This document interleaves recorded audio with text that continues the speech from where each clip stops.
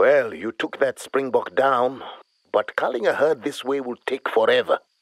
You should be able to kill a springbok instantly in one clean shot. Harvest this one, then try again.